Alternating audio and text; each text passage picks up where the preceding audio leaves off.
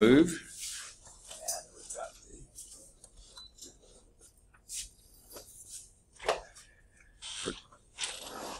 We're now recording. Let's get from current slide. All right. Um, while that's coming up, can't think of any new announcements uh, that you might need to be aware of. I do know, well, it may have some bearing or not. This Thursday, I think somewhere around 2 o'clock or something like that, there is a faculty meeting right across the parking lot here in the Ethel Hall building, uh, the auditorium there. And here we go again. The projectors. I should have thought of this.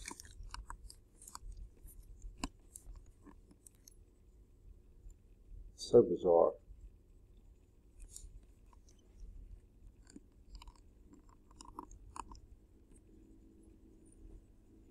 Ah, there we go. Everybody hold your breath and your mouth a certain way and don't move. Okay. See if it, ha, it works. Okay. Relax. Okay. Now. Uh, so if you have a class Thursday afternoon around two, check with your instructor. If that instructor is an adjunct, you're probably the class is probably still going to go on. Adjuncts aren't required to go to faculty meetings.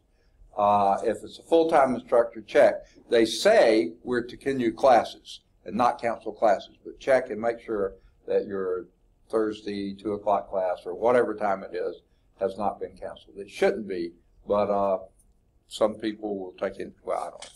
We'll let it go. I know I'm not canceling mine. Uh, it's a mini-term class, so we can't afford to miss a class. Okay. Um, the other thing is Friday. I think I've told you this several times before. Friday morning, normally I'm on the Birmingham West Campus, 8 to 12, usually there before 8 and there after 12, but this Friday not. This Friday I will be here on this campus before 8, but then I'll be going immediately over to uh, the UAB West uh, area here where I have an eye appointment. I thought it was going to be at Eye Foundation Hospital. It's not. It's here at this hospital. So uh, just a routine need to have the cataract check, you know, uh, type thing.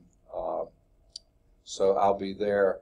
The appointment's at 8.15, so hopefully I'll be through at 8 by, by 9, 9.15. So hopefully back on the Birmingham West campus around 10ish or so.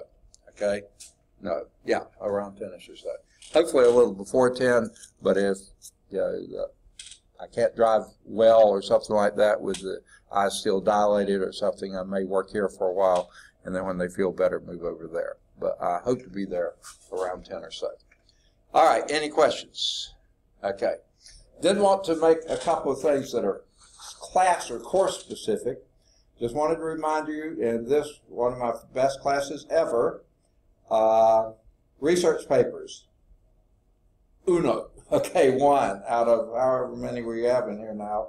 1, 2, 3, 4, 5, 6, 7, 8, 9, 10, 11, 12, 13, 14, 15 students. One research paper by midterm. Mm, let's get those in, folks.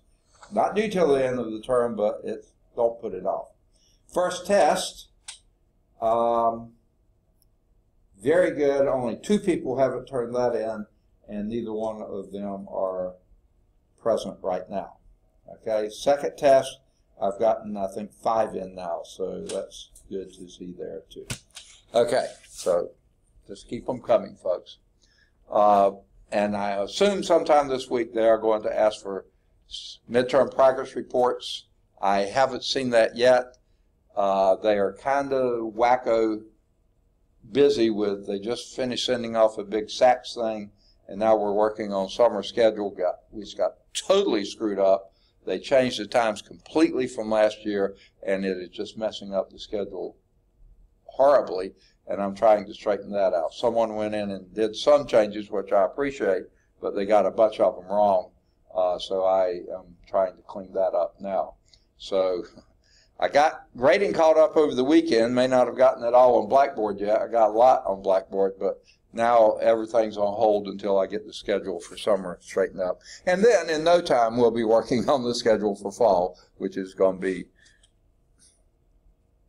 yeah, it's still going to be pretty bad because we've changed quite a few things from last fall. So last fall's schedule is not going to work well. So we'll, but that won't be as bad as the summers, I don't think. But it's getting taken care of. All right, any questions from you? Anything uh, administrative or mathematical? All right, we're still in chapter 3, which is applications of differentiation, which is a very long chapter. 3.5 is limits to infinity, which I'm not going to test you over, though uh, now I'm beginning to wonder if I should, because this is really pretty easy stuff, but I just look at this and say, who goes to infinity anyway, you know? So why worry with this? It's such a long chapter. There's a lot other sections we really need to focus on. But in case you do need to know this, I want to go over it quickly. Hopefully, most of this is going to be a review of your pre-calculus algebra, wherever you took that, if you took it. Okay? We'll determine finite limits at infinity, which sounds rather strange, but it does make a little sense will determine horizontal asymptotes, if any, of the graph of a function, which basically is what's happening when you're going to infinity. Are you approaching a horizontal asymptote? That's the question. And we'll determine, we will determine infinite limits at infinity. That, to me, sounds totally wacko, okay? How do you determine, I think what they mean, determine if the, no limit exists. So in this site this section discusses what we call in Math 112 end behavior. What's happening in the long run? When x gets very, very negative or very, very positive, what happens to your function? And this is on an infinite interval. In other words, it just keeps on trucking. For instance, here, this function right here is defined everywhere, all real numbers. Normally, rational functions aren't, but the only thing that would give it a problem would be what?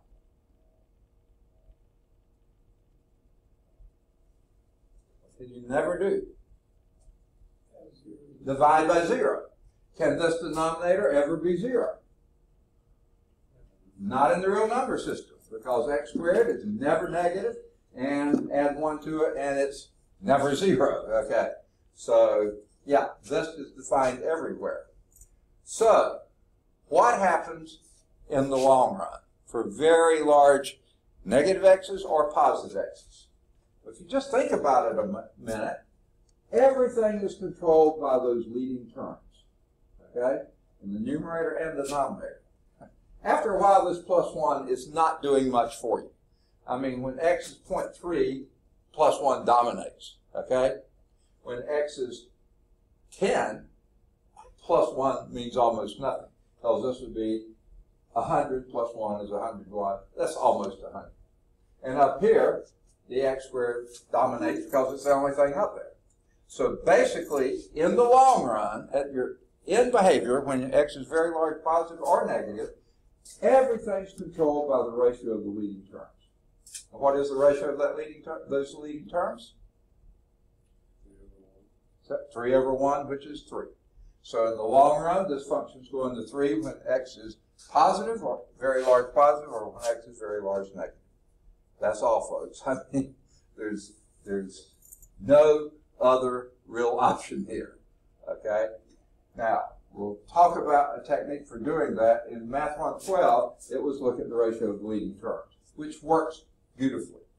And we express this as f, as x goes to negative infinity, f of x goes to 3. As x goes to positive infinity, f of x goes to 3. Okay? It's just that. Okay? Now, graphically you can see that. You can plug it in numerically and see that. What a large waste of time. Well, no, I'm sorry. Well, yeah, but you know, look at it algebraically and you see it has to be that. Okay? Uh, the table suggests that x approaches 3 as x increases without bound to positive infinity or to negative infinity. Okay? And those limits are denoted this way. Okay? So uh, This is the same way as saying as x approaches negative infinity, f of x is approaching 3. As f approaches positive infinity, as x approaches positive infinity, f of x is approaching 3. Okay? So, to say that a statement is true as x increases without bound means that for some large real number m, the statement is true for all x's in the interval x greater than that very large real number m, then you can use this definition, which is a great definition. Looks just like our good old limit statements from before. But the thing is, look at the ratio of the leading terms. You don't really have to do this. But here's what it is. The limit the statement, the limit as x approaches infinity for f of x equal L, means that for any epsilon greater than zero, there exists an m, a capital M, some large number greater than zero, such that for the absolute value of f of x minus L can stay within that small value, whatever you choose it to be, whenever x is beyond that. So in other words, the function is approaching some limit, and if you get some m large enough, for whatever epsilon you choose, you can guarantee if you get an x beyond that, you're going to stay uh, within this limit. Okay? In the statement, same thing going in the other direction. There is an epsilon greater than zero, such that an n, capital N, less than zero, such that the absolute value of this is less than whatever arbitrary epsilon you choose whenever n is less, x is less than that value n. Graphically, it's this, okay? Somewhere out there, no matter how small you choose that epsilon to be, somewhere out there, this is going to get closer and closer and closer. So maybe it's way out here. If you chose a really tiny epsilon, it would be here. Or even smaller, it would be out here. Somewhere, any x beyond that, you guarantee the epsilon, the, the difference between f of x, which is on the graph here, and L, whatever your limit is, is less than the epsilon. Okay? yeah, you can go through all this, or you can take ratios of leading terms, which is really what an horizontal asymptote is. And this is where we did it back in Math 112. In figure 3333, the graph of f approaches some line at y equal L as x increases without bound. That line is called a horizontal asymptote. So the line y is equal L is a horizontal asymptote of the graph of f when as x approaches either negative infinity or positive infinity, the f is approaching uh, that L. Now, there are some that will only approach it in one direction or the other. Doesn't. That's why the or is there. Notice from that definition, it follows that the graph of a function f of x can have at most two horizontal asymptotes, one to the right and maybe a different one to the left. That's possible. Okay? Okay. But, and for this to be true, I would change it, make L1 and L2, L plus, or L minus, something like that to let you know they could be different values. All right. Now, limits at infinity have many of the same properties as discussed earlier. If uh, the limit of f of x is x approaching infinity and the limit of g of x uh, as x approaching infinity both exist, and there are limits, may not be the same limit, both there, then the limit of the sum is the sum of the limits. Just like before, the limits of the product is the product of the limits. Okay? Similar properties hold if you're going to negative infinity. Okay? When evaluating the limits of infinity, the next theorem is helpful, and this is basically what we're doing when we did ratio of leading terms. A little more, perhaps rigorous, maybe, if R is any positive rational number, C is any real number, then the limit of a constant, any old constant C, divided by x to some positive, can't be negative, can't be zero, has to be positive, positive rational number, positive rational number, then this is one to go to zero. Because you see, C is fixed. It may be huge. It's 4 million or something like that. And X could be, and R could be pretty small. But in time, in time, this is going to overcome that, and you're going to be approaching zero. Maybe way out there somewhere. Okay? Uh, when x is less than zero, then it goes the other way. Uh, C over this. Still, same positive uh, or positive x, you know, every, well, no, not positive x, it would still be, uh, this is going to be approaching zero. Because the numerator is constant, the denominator, by definition, is increasing, and increasing big, big, big time. Said before, x could be quite small. x is approaching infinity. It's not quite small. r can be quite small. Okay. Incredibly small, but it has to stay positive. So, anyone want to make a guess at this? What would be the limit as x approaches infinity of 5 minus 2 over x squared? 5, of course, because this, when x is going to infinity, this gets smaller, smaller, smaller, big time, I mean. So this is going to 0, that's going to stay at 5. Perfect. Okay? All right, they do it by splitting apart, and that works. Okay. So the line y is equal 5 is the horizontal asymptote to the right. Okay? Guess what? It's to the left as well. Okay? Because as x gets very large negatively, you square a very large negative number, you get a huge positive number. And 2 over a huge positive number is going to be approaching 0, so this is also going to be 5. Okay, from the left as well, and that's how it looks. Notice there is no limit as x approaches 0. It's not defined there. You can't do that. So, but horizontal asymptote, yep, you got it. Okay? Vertical asymptote, there is one there. It's going to approach it, but it's never going to reach it. One thing about a horizontal asymptote, a vertical asymptote you can never touch. Okay? We're not talking about them now. Horizontal asymptotes, as you saw before, you can wiggle around, touch it, cross it many times over, once, twice, never, but in the long run, you're approaching it. Okay.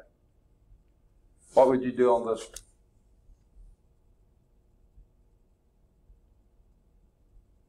Sort of giving you two ways to do it, only one specifically. The ratio of the leading terms would give you two. two. Okay. Now, that doesn't really use what we just did, or it doesn't use it directly, but here's what you do on this. It's the same type thing. You take, let me, so well, I'm not going to do anything on this, but I'm going to do a little bit just so you're familiar with it. Let's pick the largest degree of your variable in either numerator or denominator. In this case, it's degree 1, x. let's divide everything by x, which is the same as multiplying by 1 over x. Now that doesn't work when x is zero, but guess what? We're only doing large x's. Large x's. We're not worried about it zero. So let's divide everything by x. So this will be 2x over x minus 1 over x over x over x plus 1 over x. Okay? Well, here, obviously, the x's go out. These go out, leave you 1. These go to 0. Right? So you're left with 2 over 1, which is exactly the ratio of the leading terms. Okay.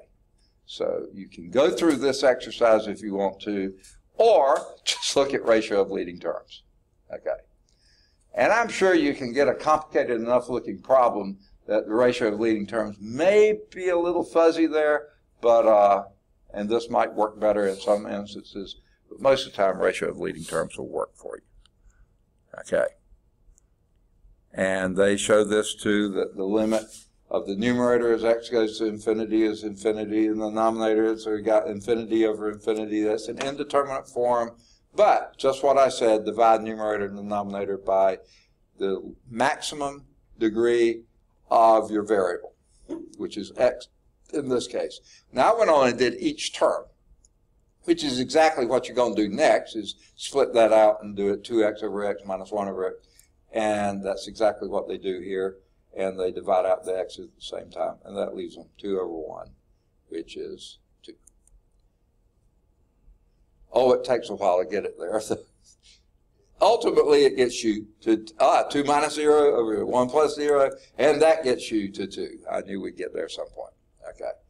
So, very simple. Just take ratio of leading terms. All right. And sure enough, if you went to plot this, this is what it looks like. Uh, And we haven't done this yet, we're not doing it, but you probably have done it in the past. What value for x can x can never be in this problem? Negative one. Negative 1, because that makes your denominator 0.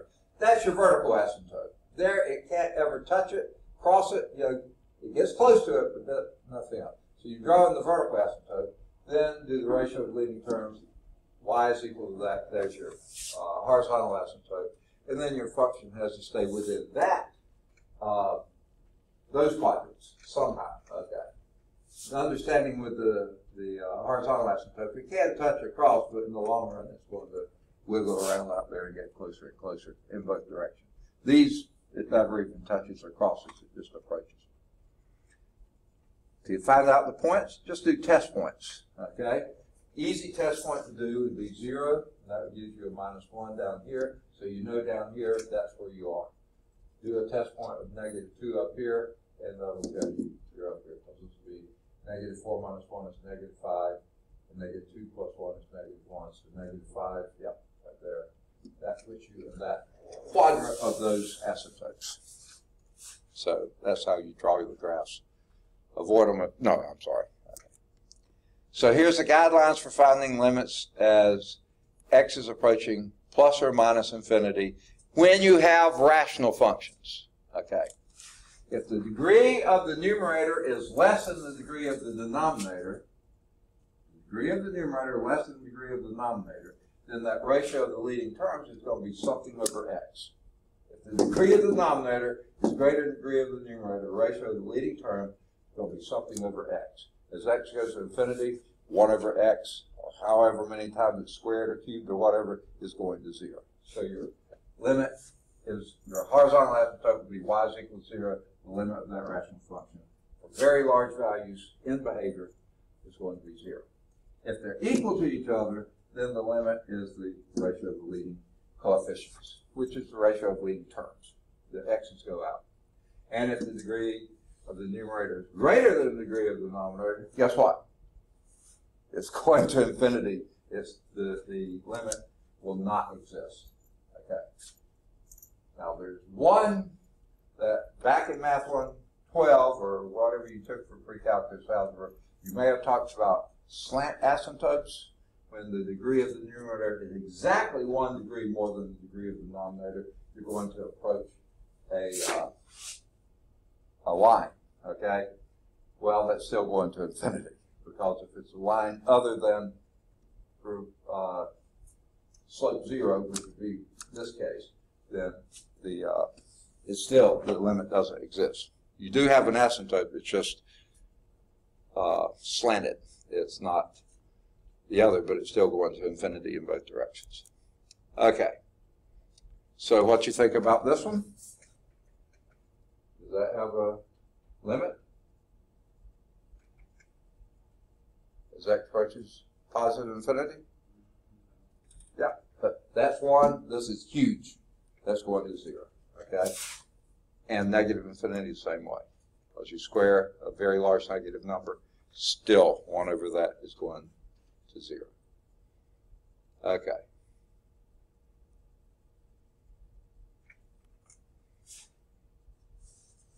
Uh, yeah, that's what I was saying. Who wins? The, the largest uh, exponent wins for very large x's. How about this one? What would you say? Oh, and by the way, your variable here is x. The a's don't matter, okay? Uh, and this is a rather strange situation here. Um, there is a figure, I hope it will show it on here, special case type of curve studied by the Italian mathematician Maria uh, I guess you pronounce it Agnesi, or Agnesi, I don't know how you pronounce that. Um, one of the very few women of antiquity that was a brilliant mathematician. There may have been many that were, but she was recognized as, as such. She was honorary faculty at some place. Why? she couldn't get a full-time job because they weren't allowed, but she was definitely. And the unfortunate thing is something about the shape of this had a thing in either Italian or Latin, which were sort of similar at the time probably. Um, and when it was translated, they mistranslated it to be witch.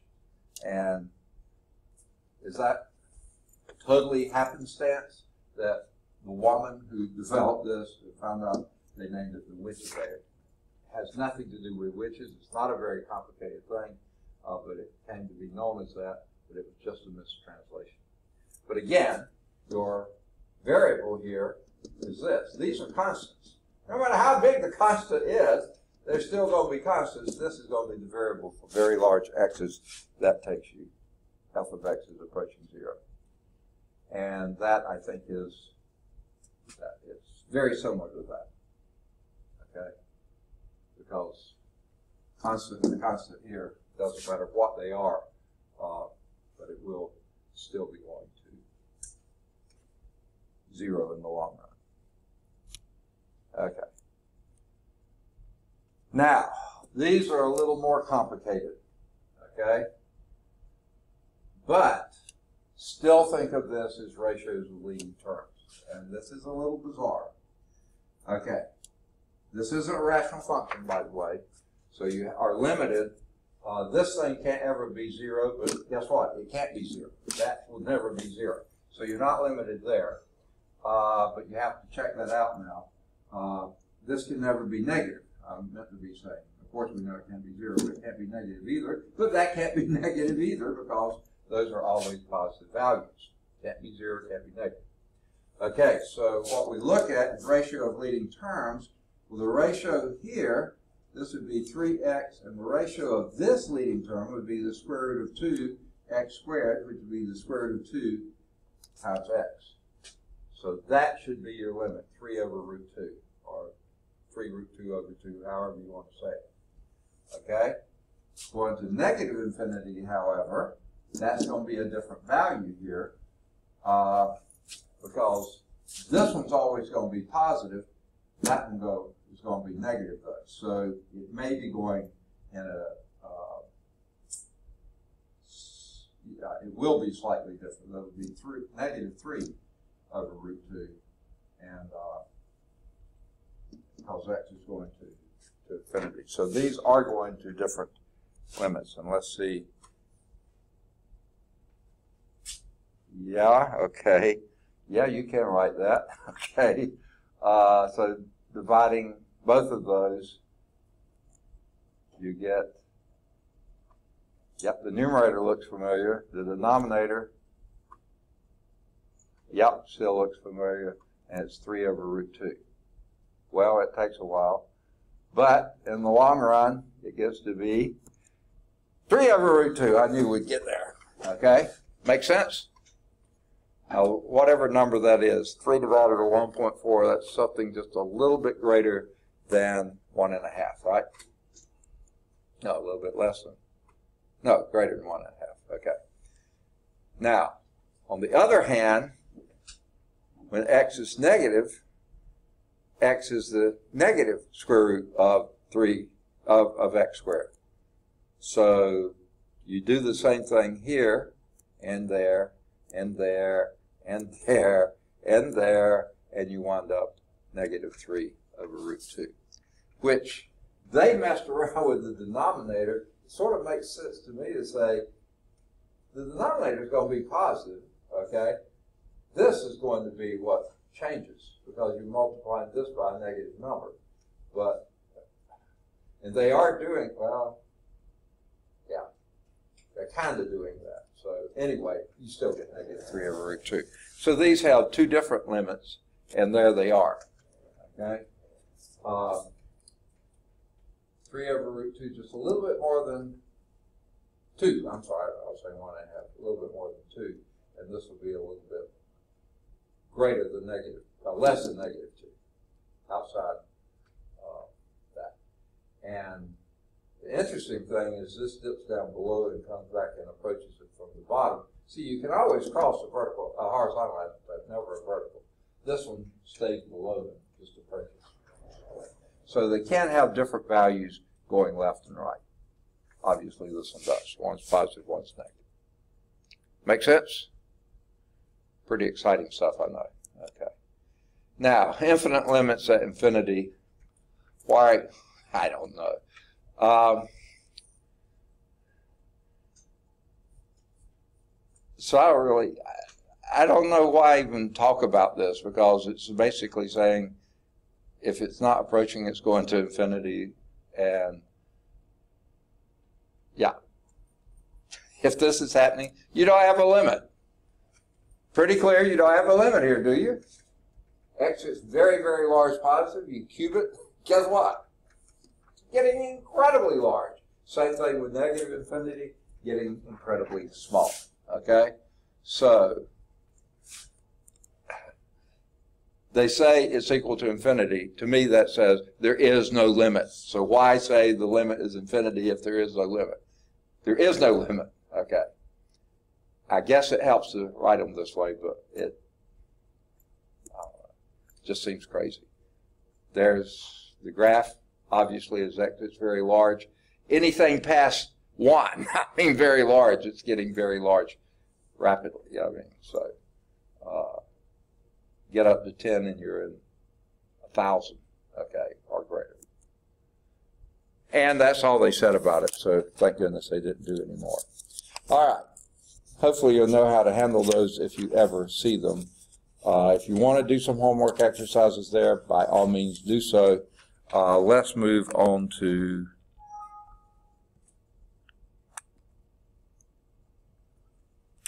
the next section. 3.6. Okay. Go from current slide. All right, same guy shooting basket hoops from several sections. 3.6, a summary of cur curve sketching. And if I, if you haven't noticed it yet, this book loves the graph, which is great. You know, and so we're going to be doing curve sketching. So this is going to tie together the two sections we did previously, and maybe a little bit of asymptotic behavior. So that might be analyze and sketch the graph of a function, and that's all we're doing here, analyzing and sketching the graph of a function. When you're sketching the graph of a function, either by hand or with a graphing utility, remember that you normally cannot show the entire graph. This is especially for the graphing utilities. You pick a convenient window to you and you see it and you say, that's how it looks. You don't know beyond that window if it's doing something really crazy, so be very careful with that. The decision to which part of the graph you choose to show is often crucial, and that's what they're saying. What is your window? Okay? Uh, and that's the biggest fallback of a graphing calculator. You'll sometimes focus on that window. Okay? And which of the viewing windows here would be the better one to do alpha of x equals x cubed minus 25x squared plus 2074x minus 20. Okay?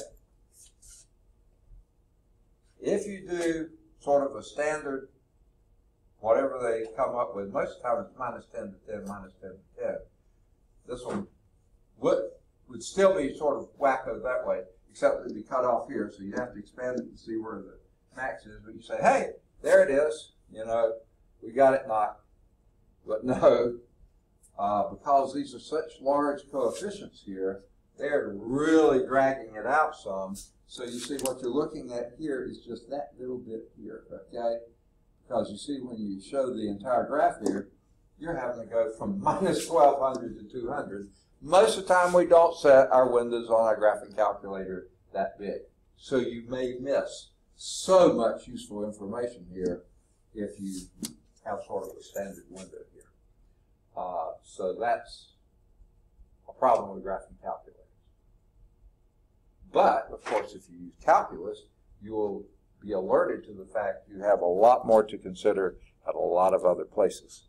And let's hope I don't give you too many with that big coefficient, you know, that you can do. By seeing both views, it's clear that the second viewing gives a more complete representation of the graph. Now, why is that? What are clues that you might have here?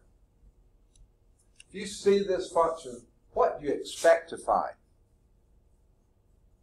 You'll always find it, but what you, what's your expectation when you see that function?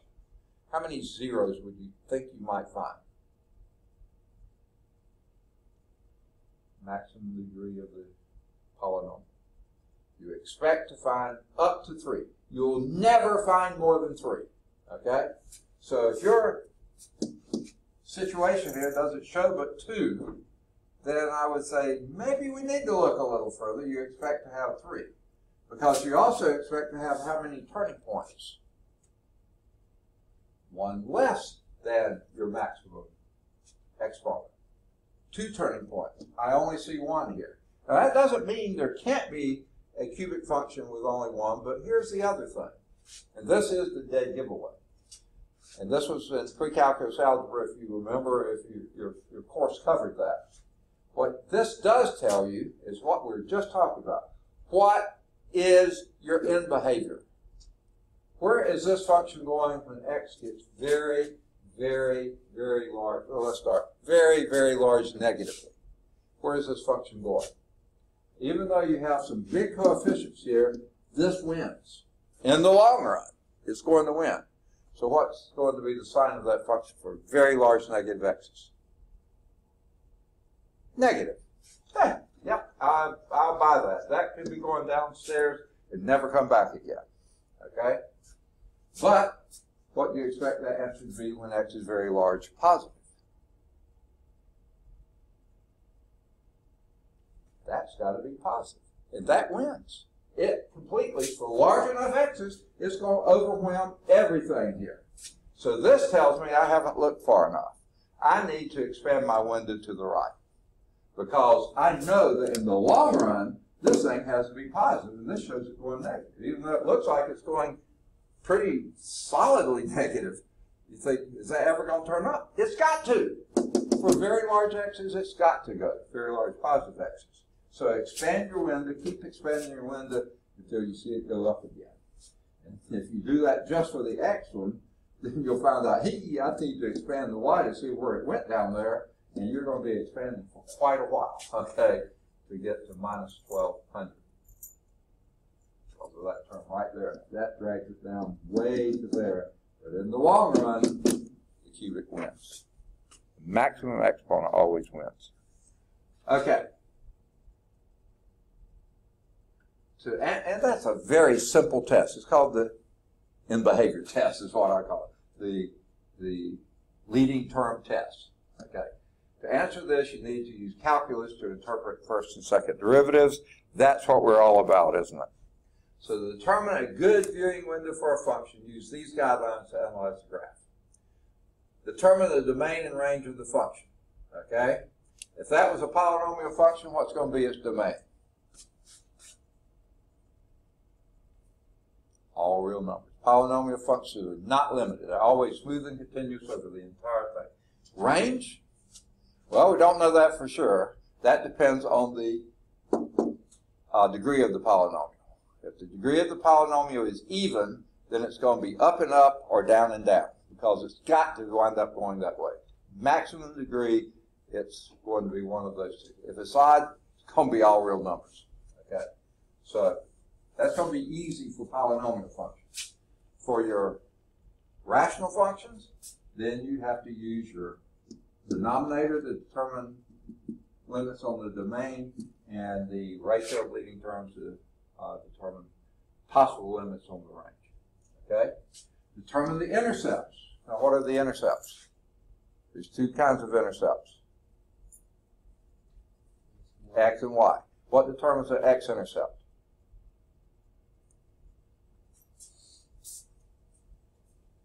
What's true about an x-intercept? X-intercept is where the function intercepts the y-axis, right? Crosses the y-axis, cuts in front of it, and picks off the path, right? What's true about the x-axis?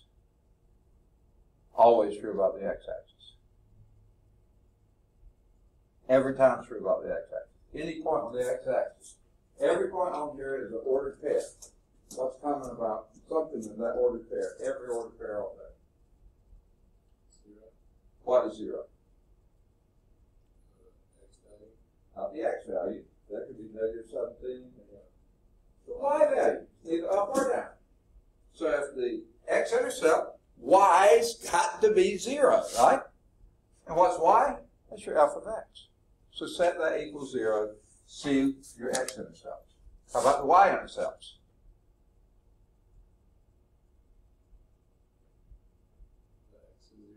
X has to be zero, absolutely.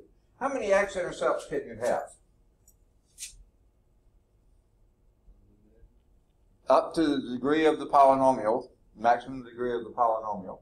Uh, other things you have to just consider individually. How many y-intercepts can you have? If this is a function, one is the maximum. You may not have any, and you may not have any x-intercepts either.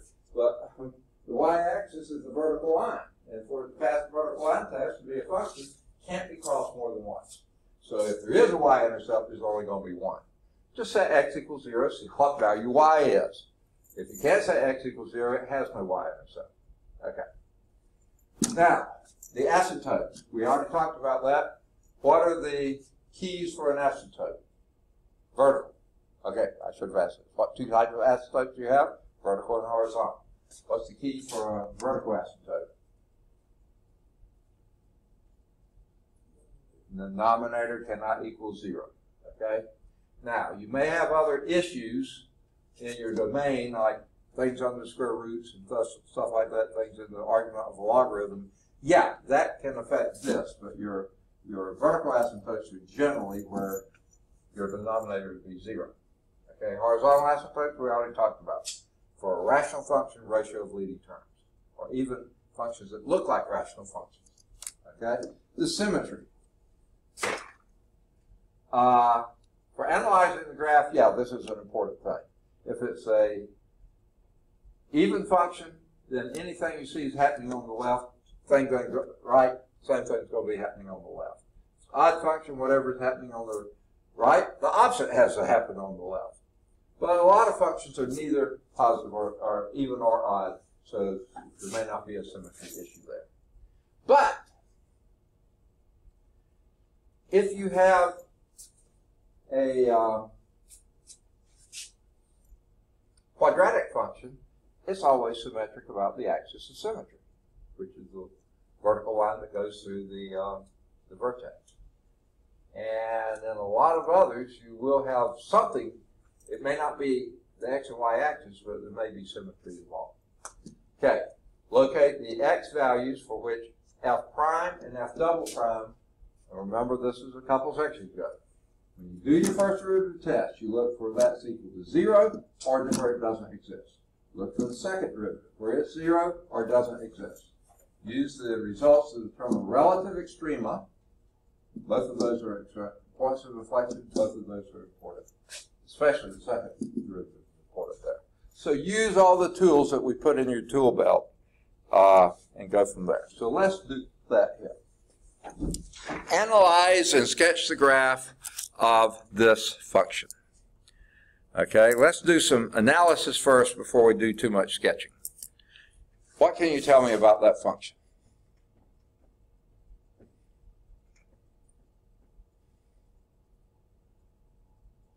minus two would make it, Plus or minus two are going to be vertical, x equal plus or minus two, going to be vertical asymptotes because that makes your denominator zero. So us, let's start off with, ooh, I mean, maybe I should do it in red, but go back to black. x cannot equal 2 or minus 2. That means vertical asymptotes right there at the top. So let's go on and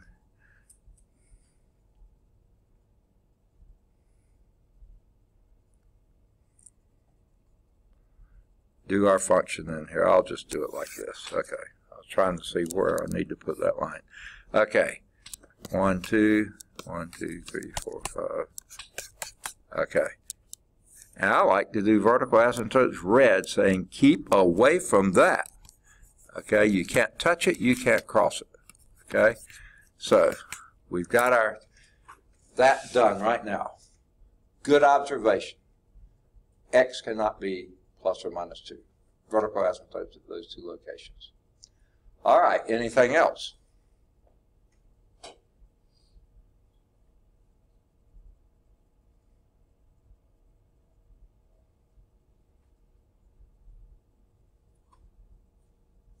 Plus or minus 3, it's going to be 0.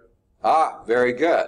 Okay, because the only way the function is going to be 0 in other words, f of x equals zero, y is equals zero, is when that numerator is zero. And that- certainly that's going to be at plus or minus three. So plus or minus three, that's where the y is equal to zero.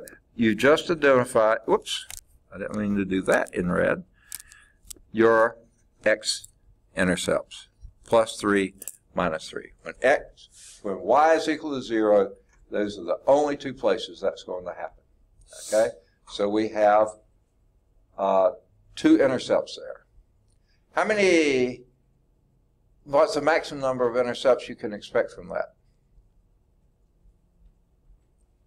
Two, because that numerator is a quadratic. That's all you can get. So we found all the x-intercepts. Anything else you might want to try?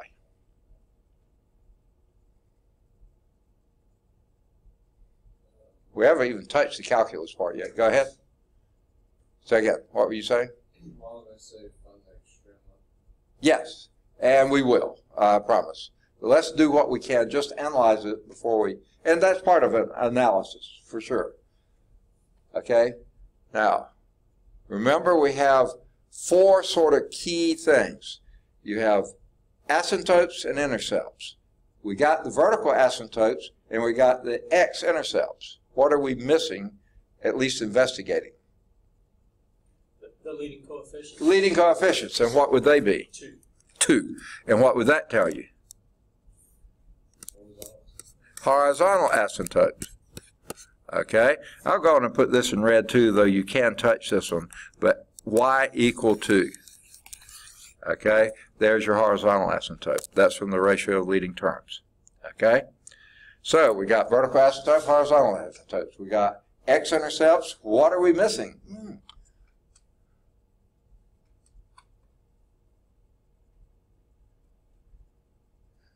Pretty easy. Y-intercept. And what's true about a y-intercept? X equals zero. That's a pretty easy one to do, isn't it? What you get in the numerator when x equals zero? X equals zero. You get negative 18. And the denominator when x equals zero? Negative 4. What's that ratio? Second, nine halves? Okay, nine halves. That's three and a half. One, two, three and a half. There's your y-intercept. And that's the only y-intercept. Okay? Now, this is cheating. This is really cheating badly here. But I'm going to do it anyway. Without touching calculus yet, and I know we want to get to it, but I am going to contend to you that since these are the only two x-intercepts, that's the only y-intercept, these are your asymptotes, this one can't be going downward, can it? It cannot, okay? Uh, I guess it could be moving either one of two directions. It could be going down this way, or it could be going up like this, okay? And we really don't know, so we do need to do some analysis, further analysis to see where this is going. This is going to be approaching your x-intercept, uh, your horizontal asymptote, or is it going to the vertical asymptote? We don't quite know. Ah, yes we do, don't we? It can't do this way, can it? Because then it would cross the vertical asymptote. Can't possibly do that. So it can't be going down that way. It has to be going up. So my guess right now, that's going to have to be a minimum. We'll see later if that's true. This is a guess. It may not be true. Now, what else? Because this can't approach, it can't touch the y-intercept, okay? And it's got to approach this in the long run. These two are pretty easy to do too. This is going, I don't know what the curvature will be, but it's going to be something like this. Oh, that didn't cross it. it. That's going to be the graph. And we didn't do a bit of calculus, did we? Shame on us. Okay. Let's see if we're right. So, what would be, do you mind if I write on this with all this ugly graph here? Is that going to be too crowded? I can erase everything and start the calculus part. You okay with this? Okay, let's do it then. All right. I do want to wipe out this because I have adulterated that somewhatly. Okay. We already got this in here. Okay. So get a function so we can read it. And what might we do?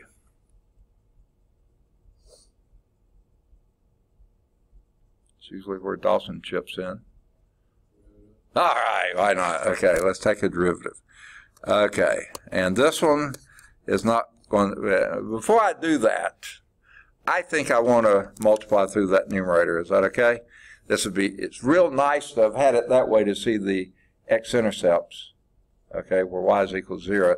But, you know, to do our calculations, nah, it's going to be just as easy. Let's don't do the first derivative. You could have done that, 2x squared minus 18. But we don't need to. What's your first derivative?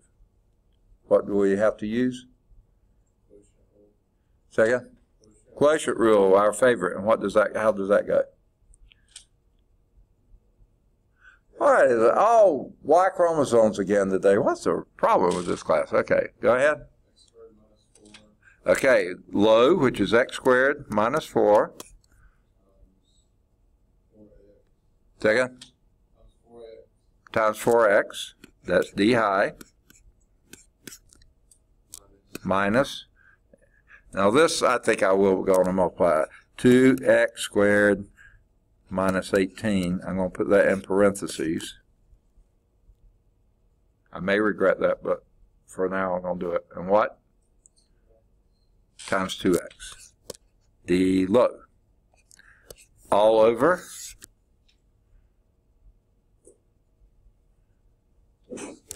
x squared minus x squared minus 4 squared. I'm not going to multiply that out, but we'll just leave it like that. Now,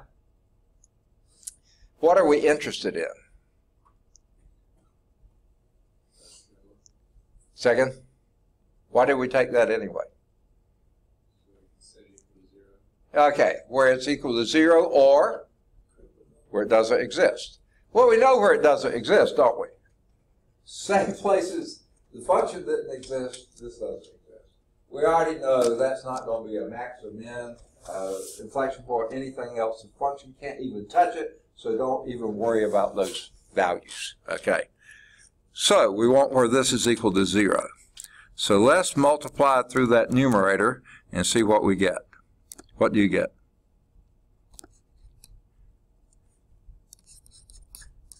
What's that numerator? 4x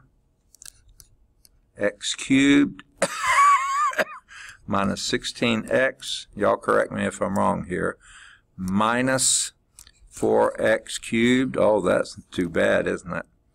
Uh, plus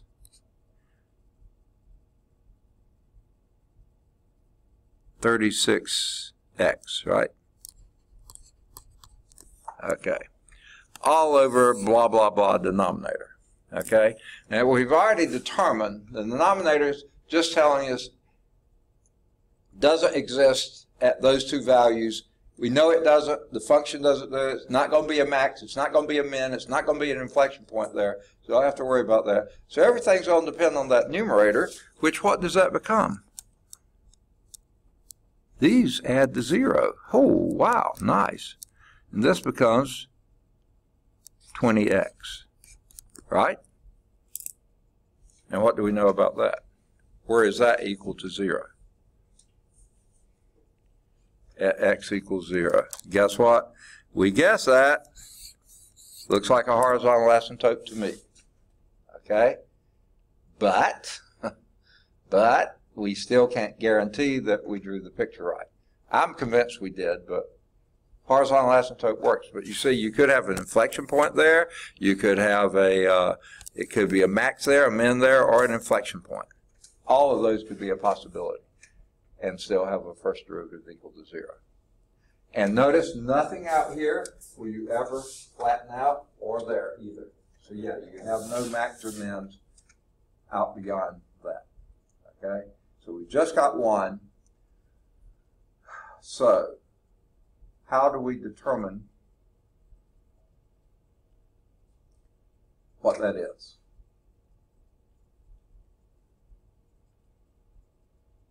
And what we really do need is, I've been ignoring it, but put this over x squared minus 4 squared. Okay?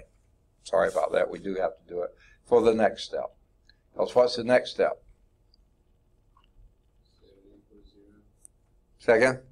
Equal- Oh, I, yeah, I just did that. I did that. I set the numerator equals zero, that only is zero is zero. And that's what I said. We Have a horizontal tangent line there. We know that. We just don't know whether this is a minimum, a maximum, or an inflection point. Could be any of those. Yeah, I already did that, sorry. I was just talking my way through that. What else do we need to do? Take another derivative, why not? And what will that be? F double prime of x will now be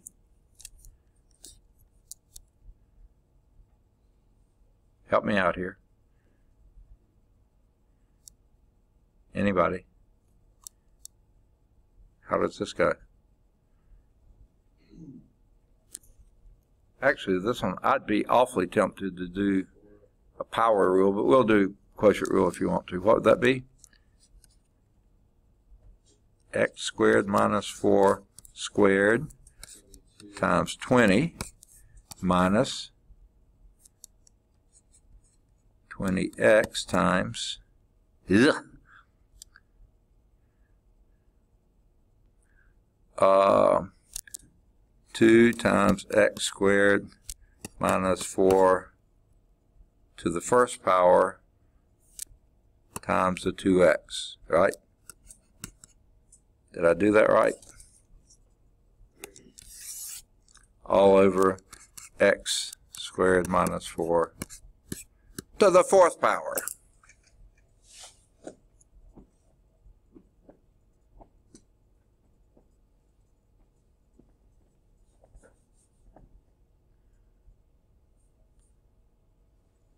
Yeah, there is some advantage of doing this. I was going to say, just to find the extrema, it was much easier if we had just done this.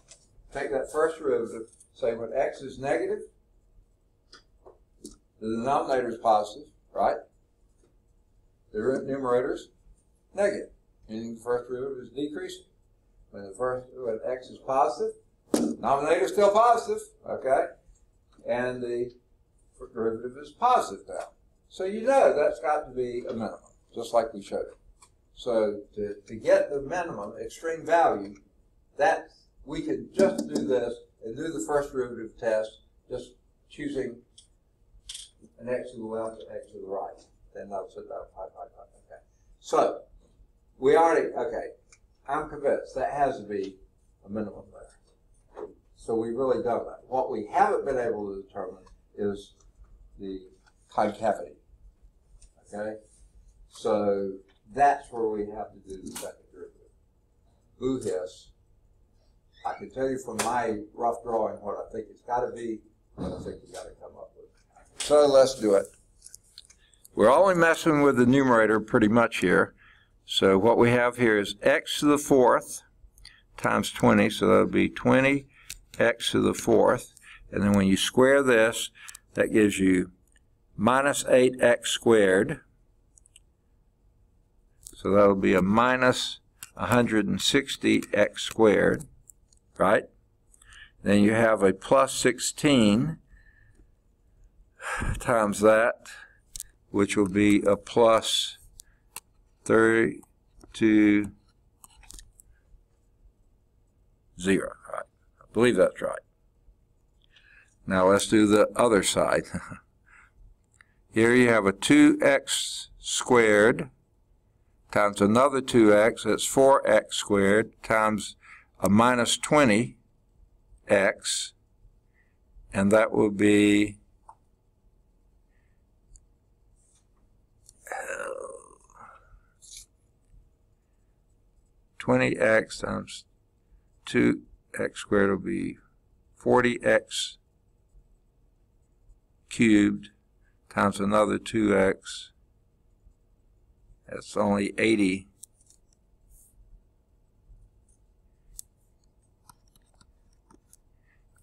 I think this is right. 80x to the fourth. Someone straighten me out here if I got it wrong. I think that's right, which is a big boo hiss. I was hoping those were going to go away. Okay, and here we have a uh, the x squared terms. This would be a minus 4x squared times 2 would be a minus 8. No, that's a minus 8x squared times 2 is minus 16x squared times another 2x would be minus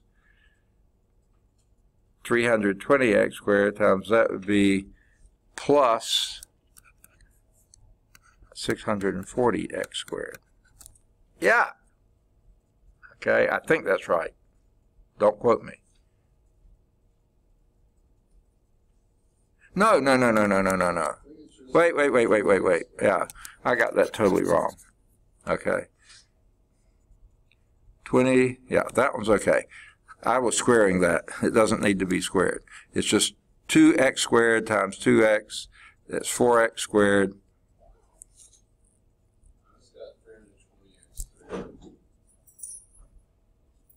Okay. Yeah, you just got minus 4 times minus 40, which is plus 160. Is that right? X. Yeah, 160x squared. All right. So is that what y'all got?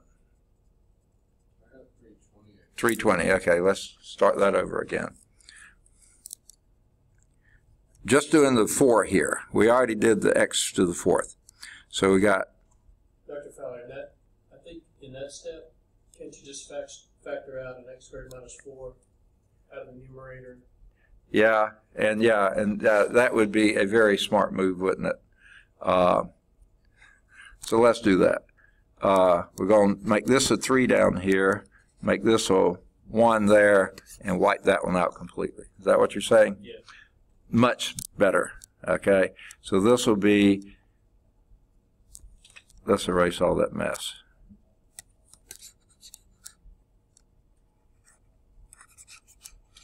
Whoa, I erased my axis. We're without an axis. We're lost.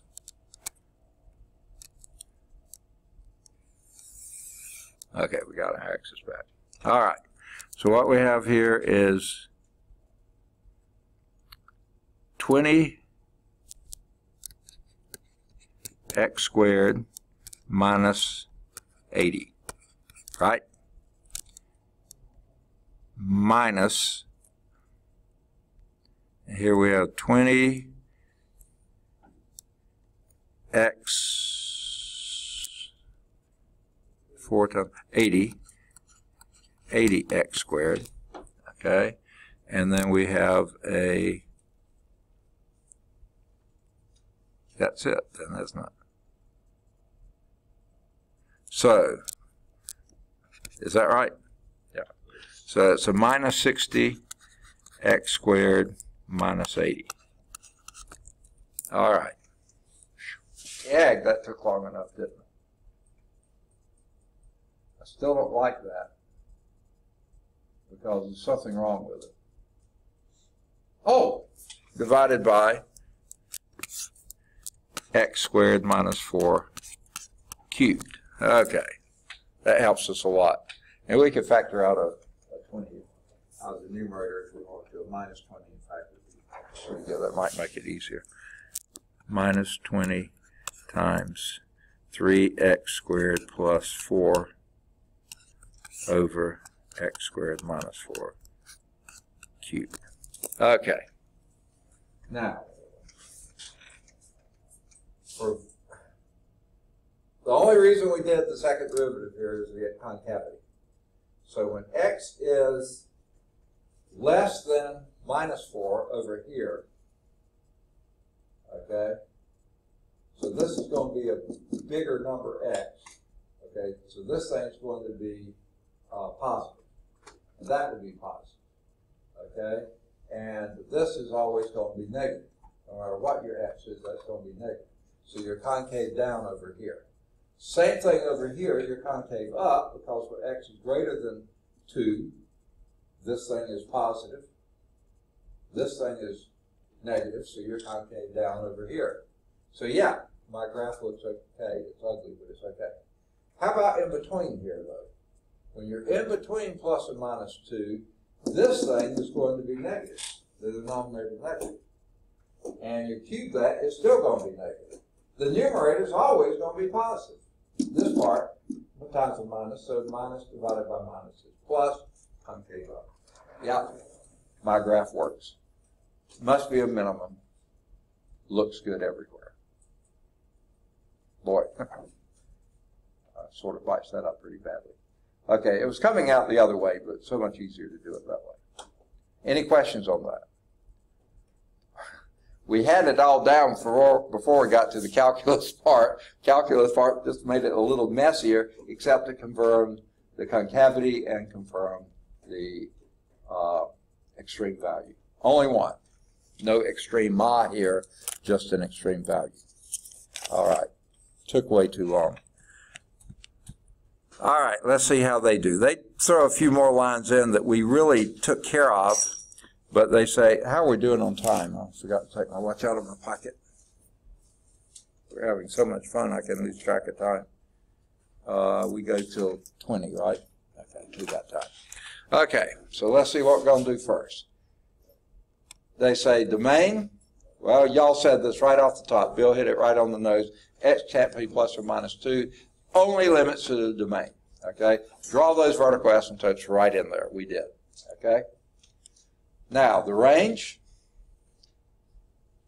Until you drew it, I don't see any way to look at that and say, oh, this is what the range is. Uh, negative infinity to 2, I'll buy that, and from 9 halves up. You have to have done your analysis first. I, no way you can look at that, or I can look at it and see that's going to be my, my range. Okay? So, to me, this is pretty artificial. Once we drew it, yeah, we had that. Okay?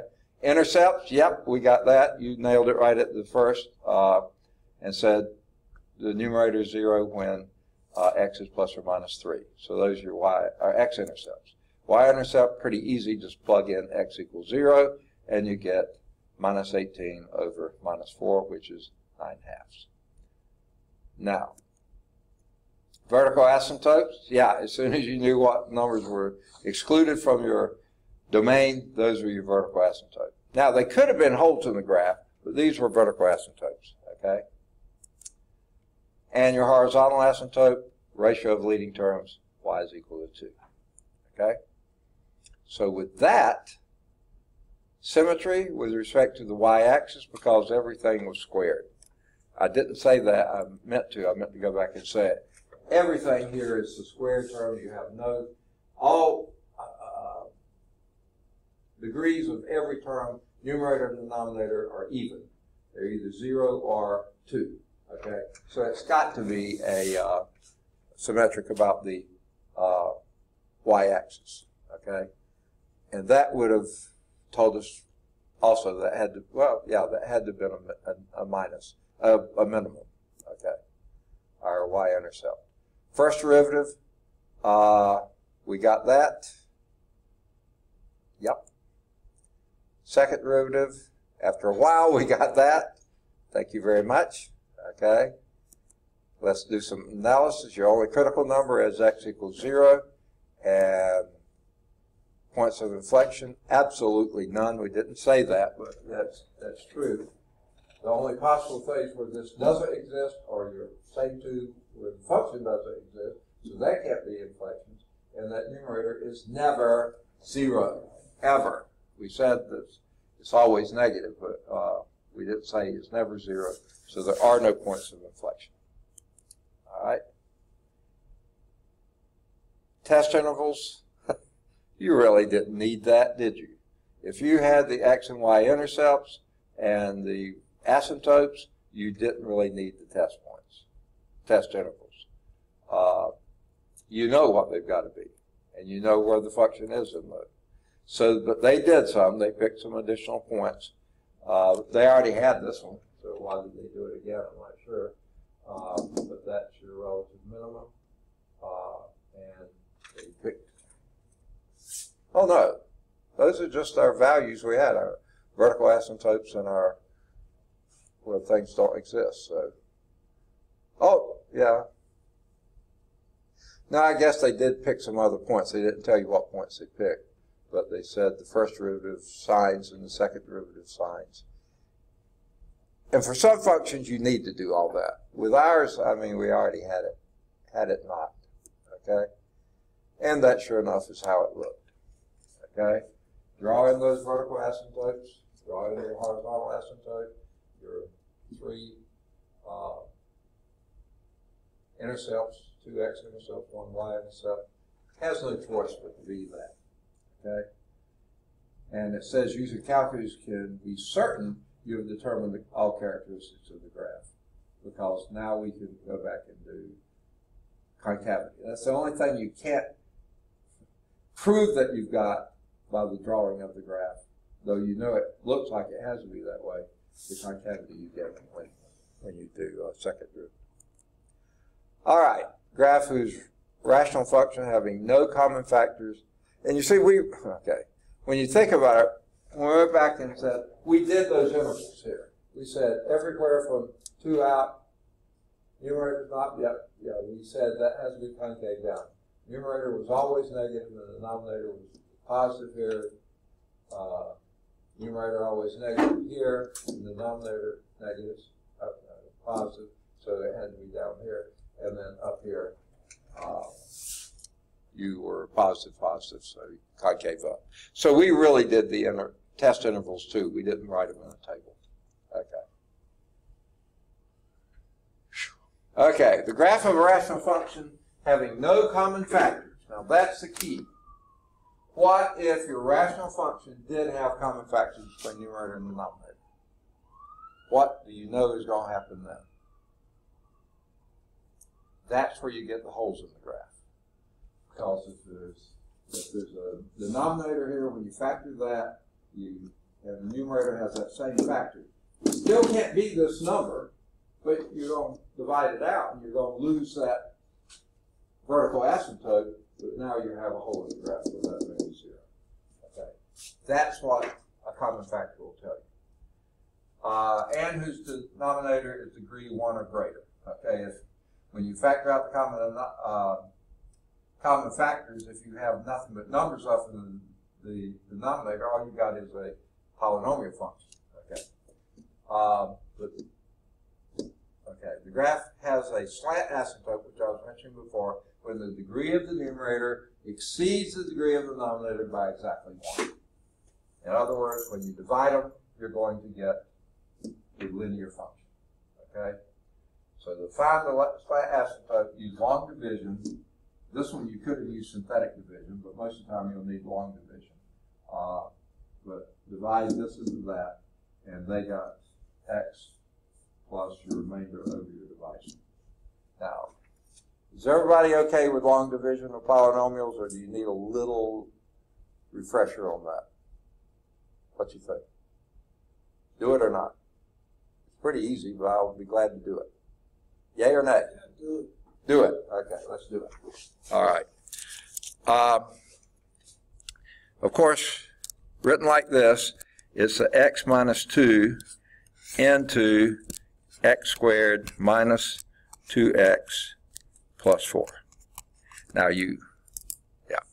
Now, time out before I do anything else. Uh, when you do long division, make sure, here's the main thing to make sure, that you're in descending order of your powers, your divisor and the dividend, and that you haven't skipped any terms. If you have a missing term, like if this had been an x cubed here, right here, uh, then you would have to do x cubed plus 0x squared. Yeah, you have to put in a place filler for every term. It's usually a good idea to do it here too, but especially in the dividend, you've got to do it. Okay? So let's do the long division. Now, how do we do division anyway? This is the one operation you do left to right rather than right to left. You go x into x squared, we'll go how many times? x times. x, and then you multiply. Remember in long division, divide, multiply, subtract, divide, multiply, subtract, right? Same thing here. Divide, now multiply. x times x is x squared, and x times a minus 2 is minus 2x. Oh my goodness. Everything wipes out here. Now, most of the time when I do subtraction of sign numbers, I like to change signs and add. So I'll make this minus that plus, and then when you add, they both disappear. And that leaves you 4 as a remainder. So that's plus 4 over x minus 2. Most of the time, both of these won't. Always, this one will disappear. Most of the time, you're left with something here. This time you didn't, so that's why you have plus 4 over x minus 2. That's how you do long division. Now, I mentioned synthetic division. Is that worth mentioning again? With synthetic division, what you do, the only time you can use synthetic division, here's my little rule, when the coefficient of that denominator is 1 and the x max, only exponent is 1. Coefficient 1, exponent 1, then you can do it. So the synthetic division, take the opposite of this, 2.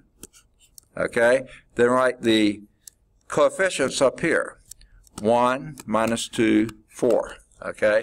Make sure you aren't skipping a term. If any terms skip, you have to inject the zeros in the right place. Okay? Now, notice we change signs here. So now when we multiply, we don't have to change signs and add, we just add because we already changed the sign. Skip a line, draw a line, bring down the 1, okay? Multiply. 2 times 1 is 2. Add 0. 2 times 0 is 0. Add 4. That's your remainder. So this will be, and where this was the x squared term here, it becomes x. You drop the degree by 1. x plus 4 over x minus 2. So you get the same thing. Only do that when the coefficient 1 and the exponent's 1. Okay. So there's that. Okay. So what you have here, you have the line y is equal to x, like this, and then you have uh, a vertical asymptote at x equal 2, whoops, 2 over on this side, and then you have this kind of thing, your function's going to be up here and down here, okay, in those two quadrants, you might say. Because in the long run, this wins, and you're going to be on that x, y is equal to x, that line. For large enough x's, you're going to be there, and this is only going to influence it close to x equal 2. So let's see how that looks. See, there it is. There's your, why didn't they write it down? This was x plus, okay.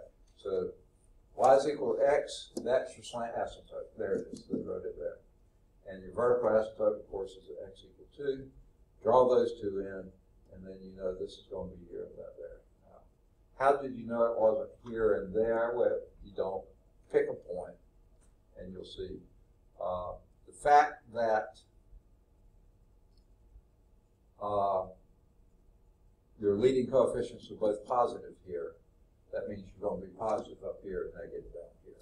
So if you'd done it this way, you would have been, uh, well, still would have been positive up there, but it wouldn't have been straight. So that's how that goes. I guess you could run into these occasionally, perhaps a business model as you uh, minimizing costs at that point or something like that. If somehow you wound up with this, then those are important things to know. Okay.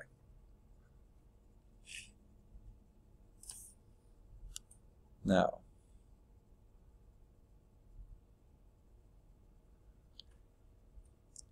boy, this was example two, and they didn't tell us it was example two. They had us, well, or did they? No, they didn't tell us it was. Um, but this basically turns out being example two. And that's the only example they do here. They do a lot else about your domains, ranges, and that kind of things. Uh, now,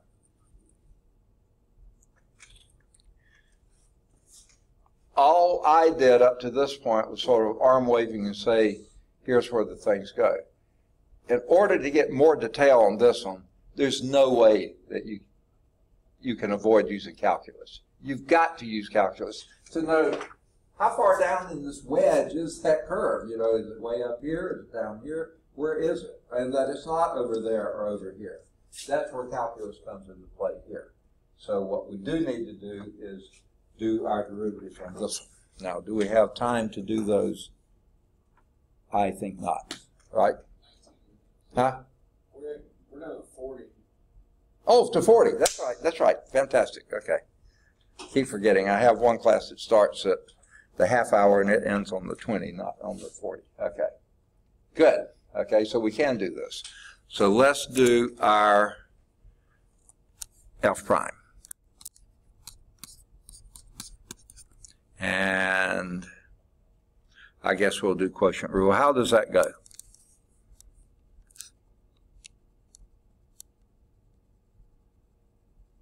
Help me, somebody. Here's your F. X minus two. X minus 2 Times two X minus two times 2x minus 2 times minus, I'll go and write x squared minus 2x plus 4 times 1. Okay, so got that written over x minus 2 squared. Okay. Now, kind of ugly writing, but let's see what we got here. Let's FOIL this one, and you get 2x squared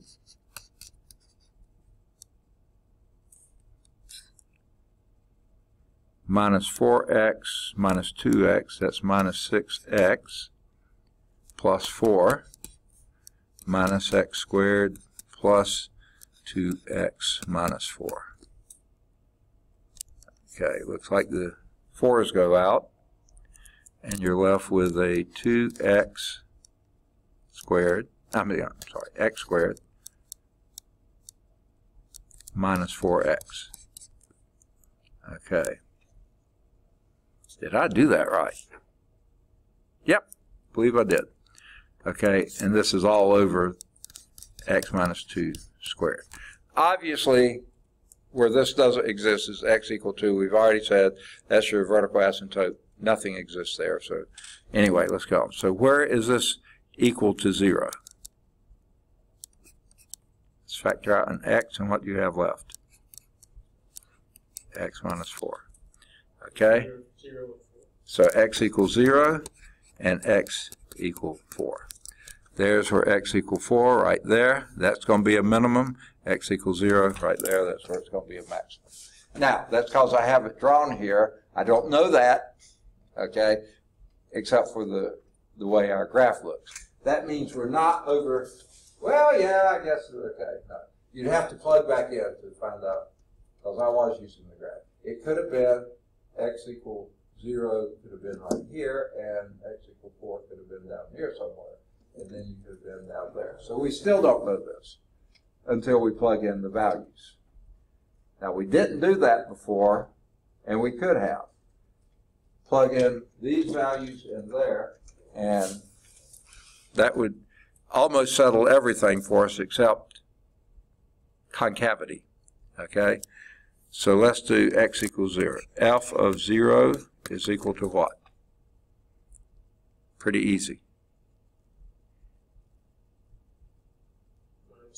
Negative And alpha 4, that's an ugly 4.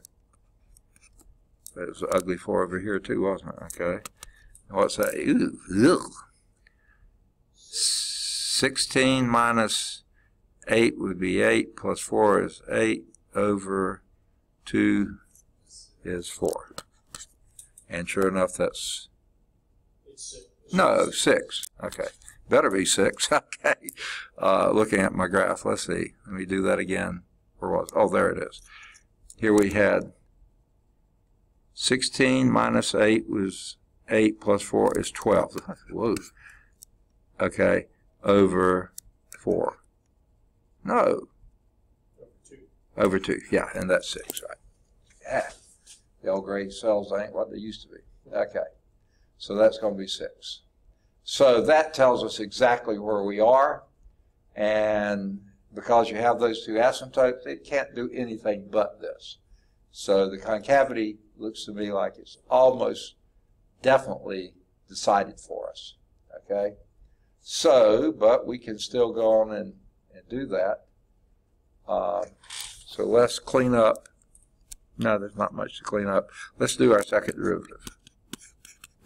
Here's our first derivative here. Okay? And that is a no coefficient there. Okay.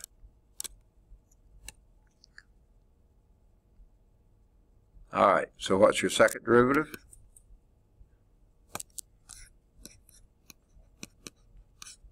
Low, D high. What's your D high here? I don't have enough room to write it nicely. Let me find some better place to write this. Not going to be much better, but it'll be a little better. Let's do it down here.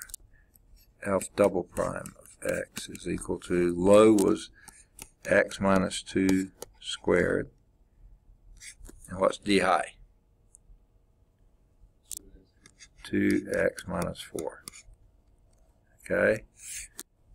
Oh, minus high x squared minus 4x d low 2 times x minus 2, right?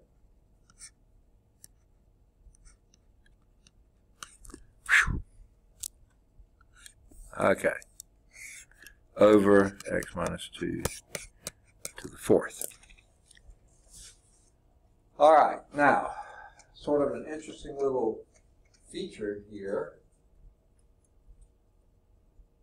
is that just like before, we can factor out an x minus 2 here, here, and there.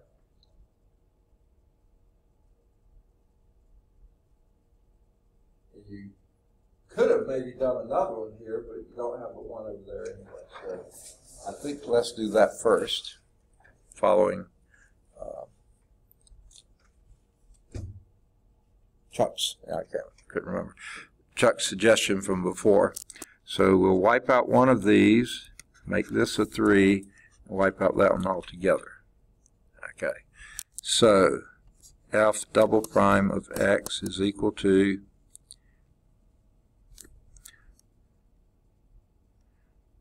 two times x minus four, x minus two squared minus, you wipe that one out, 2 times x squared minus 4x. I hope that's right. That'll be x minus 2 cubed. Is that right?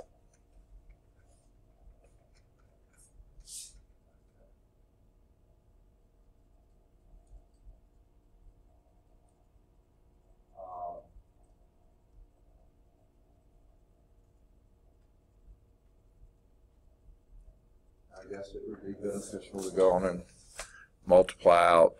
That'd be x squared minus 4x plus 4.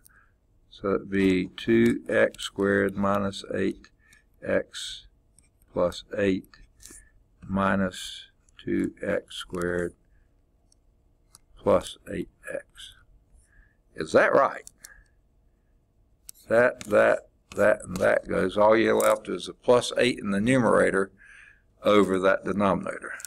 Now, that seems hard to believe, but okay. Now, let's evaluate. First, why not at x equal 0 and 4? At uh, x equals 0, this thing is negative, right? Because 8 is positive, and this would be minus 2 cubed is minus 8, so that's a minus 1 And I think everywhere down here it'll have to be minus one. And up here, yeah. Okay. Uh, anything less than two, this thing is going to be negative. Anything greater than two, this thing's going to be positive, so you have, I mean, yeah. So that's going to be positive, it'll go to concave up there, concave down. Can't think of anything else you can say about it. Plug in the x equal four, and you get eight over eight, which is a plus one up there, which sort of makes sense too. Okay. That's About all the analysis I can think of doing. Anyone want to do anything else? Anything I missed? Okay. So let's see how, whoa, they don't do anything on it. They just gave you example two. And left off example three, four, five, and six. So we've got those to do on our own. Uh, and we've got five minutes. So let's get started on this one. Well, maybe we won't get started there. Let me find someplace. Ah, this looks like a good place. So example three. Sketching the graph of a radical function. Analyze and sketch the graph of this function, f of x, is equal to x over square root of x squared plus 2. Okay. Now, let's do some generic analysis of it first. What are some things we can say about this?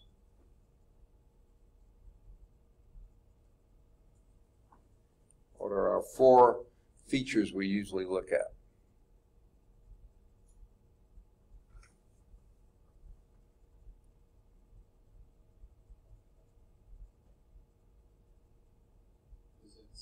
Second?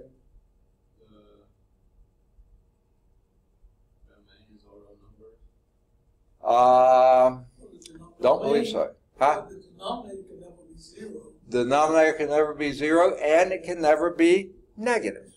Okay? The, the, the radicand can never be negative. So both of those then lead you to think all real numbers your domain. That's a good observation here. Most of the time with radicals, you can't make that assumption. This one you can because that the, the radicand is never negative and it's never zero. So yeah, this is going to be all real numbers. Okay? So we got our domain. Good deal.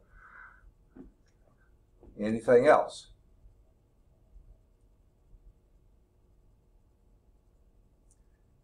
I'm really expecting the range to be all real numbers too, just because this is always positive, this can be positive or negative.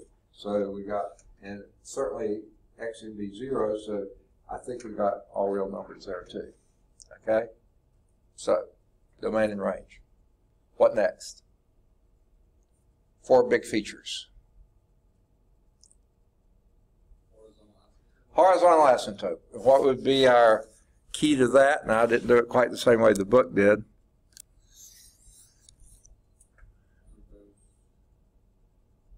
be one. Yeah, that would be one. So y is equal to one is your horizontal asymptote. Okay? Next.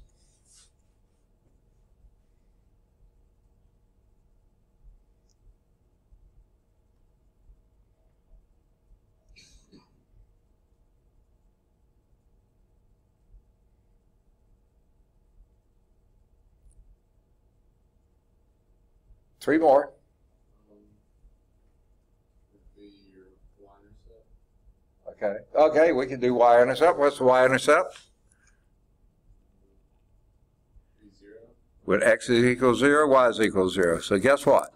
That's both your x and your y-intercept. Uh,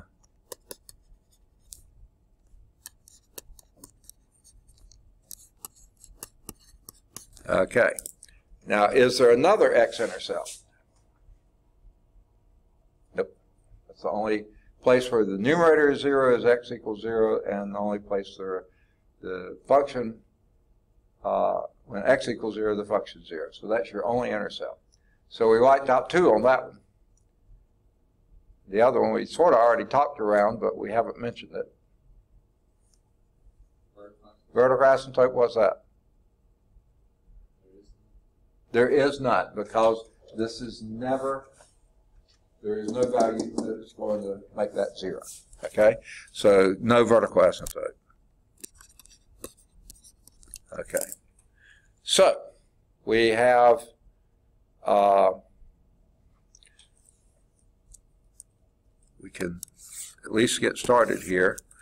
Zero, zero, we know is our only intercept, so we're going to need probably some test points on this one and we have a horizontal asymptote at y is equal to 1.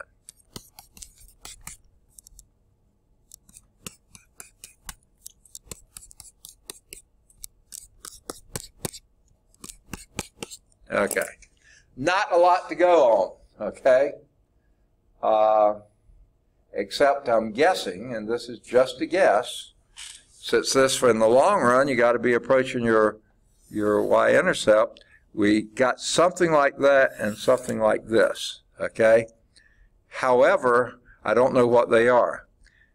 Since this is a square root, I'm guessing it's going to be like this. Because square roots typically have that kind of a shape to them, okay? So what's going to tell us the answer to that is whether it's concave down here or concave up. If it's approaching this, if it's coming up like this, it has to be concave up here. If it's doing this kind of number with a uh, cusp there, then that's going to be concave down in both places. And if it was coming up, then it has to bend back down, so you have an inflection point somewhere out here. This one wouldn't have on the inflection point. Okay? So that's going to be, I think, what we wind up with. But let's see. Okay? This is all speculation up till now. Um, what would you do next? I may, I bring up the denominator. Ah, very good. I thought you were going to say take a derivative, and I say I would do something first, but you beat me to it. How would you mean doing that? X times x squared plus negative half. Perfect. This one I don't want to do a quotient rule on. Forgive me if I don't, but I don't want to. I want to write it like that and then do a product rule. So what's your f prime? I take it that's where you're heading, right? So what's your f prime? X times negative one negative half x squared plus 2 to the, help me, Negative negative 3 halves times 2x. Okay, don't forget our good old buddy, the chain rule. Okay, next is plus.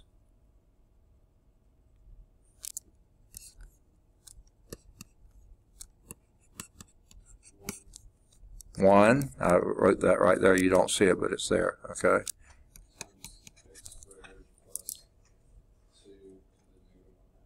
half. Okay. Now, let's clean this up a little bit. I kind of like to start with my positive, so I'm going to flip sides on this and make this x squared plus 2 to the minus 1 half. And then, because this is going to be a minus because we have a single minus sign there. But these 2's are going to go out, and those x's can multiply, so that's going to be I wish I had done differently there. Uh, my numerator is just going to be an x squared, and my denominator is going to be this thing to the 3 halves. So x squared plus 2 to the 3 halves. And I'm going to go back and write this as 1 over that to the 1 half.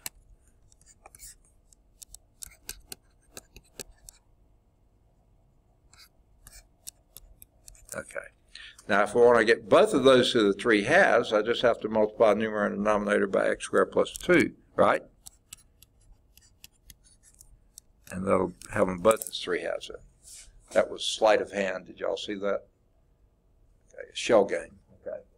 So now I have an x squared minus x squared. That's nice because that becomes a 2 over x squared plus 2 to the 3 halves power. Okay. Now, there's your first derivative. Is that 0 anywhere?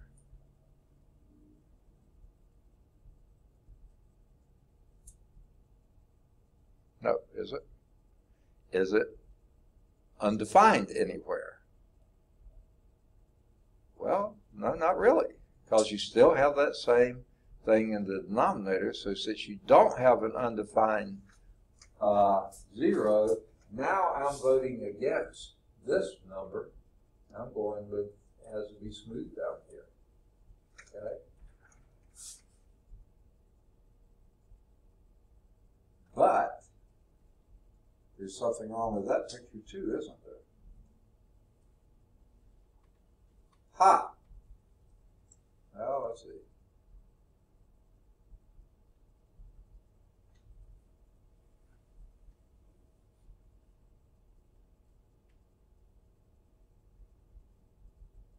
Okay.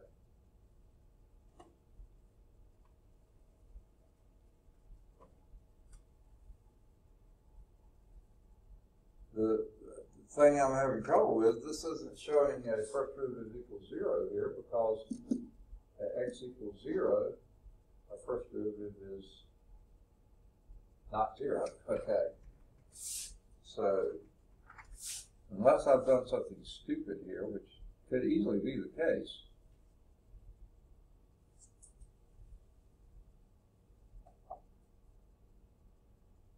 When you, I think when I did this sleight of hand, huh?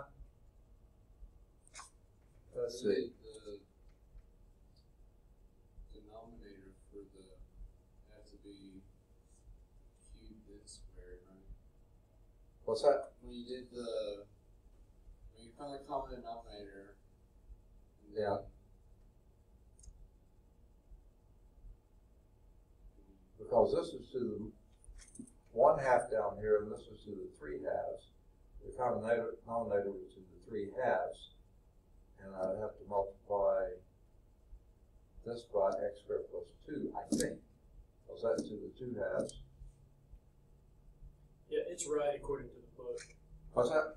According to the book, the first derivative is right. Okay. I think, I just looked in the book to see it. I think what, there's a, there's a y equals negative one asymptote. I, I was going to say, we have to have that, and I don't see how we missed it up here. Uh, oh, yeah. Yes, that's it. Same thing as before. Remember that other one. When you go to the right here, when we just did this, we said y is equal to 1. Not so. y is 1 whenever x is positive, but y is minus 1 when x is negative. Because this is still 1. Okay, be a minus one. So, yeah. Uh, so, yeah, you also have one down here. And I should have put these in red, like this. And that is going, that's going to allow us to have, I still, yeah, it's going to be like this. It's not going to have an undefined slope here. Uh, but it's not going to be zero either.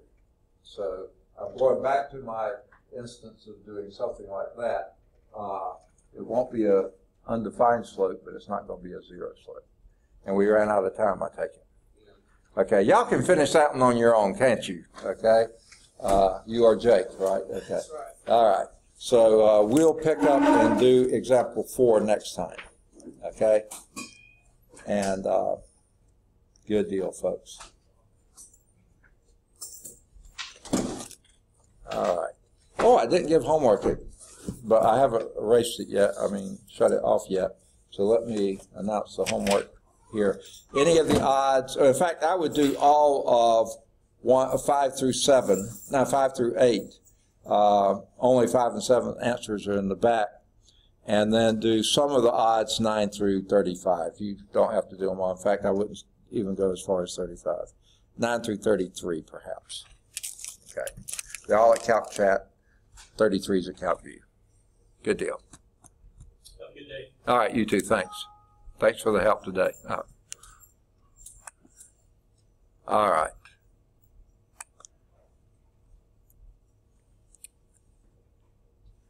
Don't want to do that. Okay.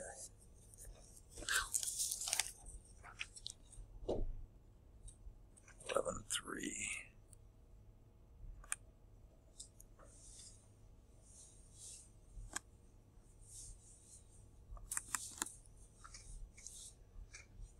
Boy, I guess daylight saving time must have really racked people up because this is probably the poorest attendance. I- Well, it wasn't super bad, but We'll set the clock on Friday night, get back on meeting on Saturday, ready to go on Sunday.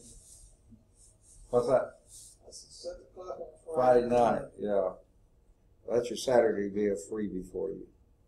I just realized I put, uh, I'm on the second part of the page and I got off one, I got everybody off by one. JV was here, but Fred was not. Okay, I think I got the rest of them. Okay. All right, you too. Thank you so much.